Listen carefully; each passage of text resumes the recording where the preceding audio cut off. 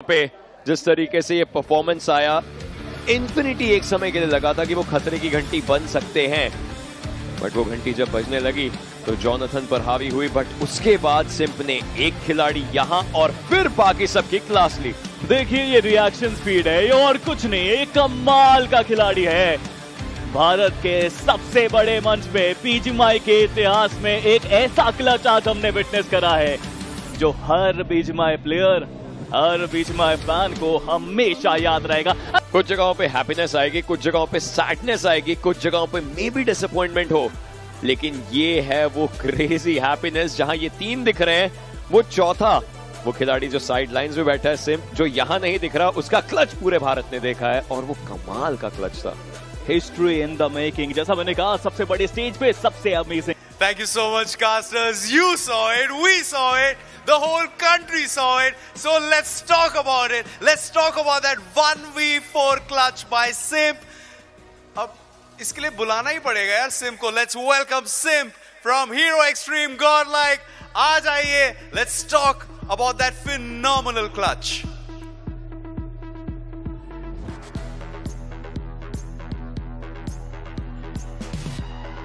Come on, Kochi. We need to make some noise for that clutch.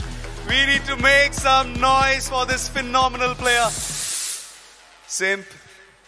भले नाम में तुम्हारा सिंप है, लेकिन हमें पता है you made it look very simple but it was in that simple tell us जब वन वी फोर हो रहा था, आपको भनक लग गई थी कि ये अब मेक और ब्रेक है तो उस समय आपके जहन में क्या चल रहा था एक्चुअली सच बताओ तो मुझे मतलब इतना नोटिस भी नहीं किया मैंने कि वन वी फोर था। मतलब जो दिख रहा था सामने बस मैं मारे जा रहा था। जब तीन नॉक किए तब पता चला कि वन वी फोर होने वाला है। और फिर दो ही गोली बची थी। टाइम लेके मार दिया।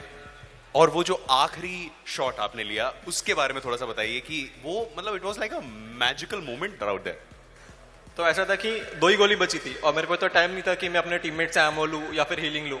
वो पुश कर रहा था मेरे पे एनिमी तो बस मैंने टाइम लिया उसको बेट किया और जैसे उसने गलती की मैंने मार दिया। And how does it feel क्योंकि पहले ही दिन ये आपका दूसरे आपकी टीम का दूसरा चिकन डिनर है।